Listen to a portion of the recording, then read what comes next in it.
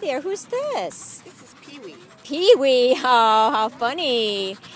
How old is Pee Wee? Pee Wee is six. Six years old. Okay.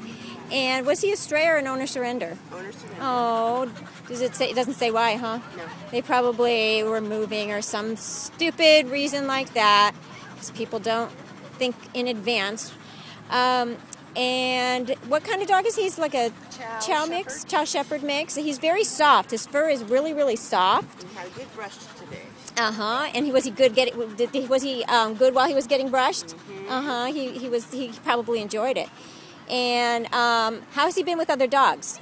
Um, mostly ignoring. Mostly ignoring. Okay, so he'd probably be okay, but he, he might just want to be an only dog, not because he doesn't get along, but just because he's not that he's not a big player, per, perhaps, or he might just not be in the mood right now. And does he sit? Do you know if he sits on command? Doesn't know. Okay, well he was probably a backyard dog then. Poor thing.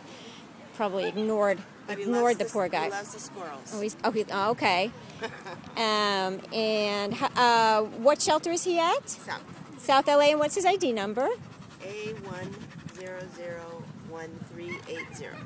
Okay. Hi, look, he's got a nice profile. Look at what a good boy.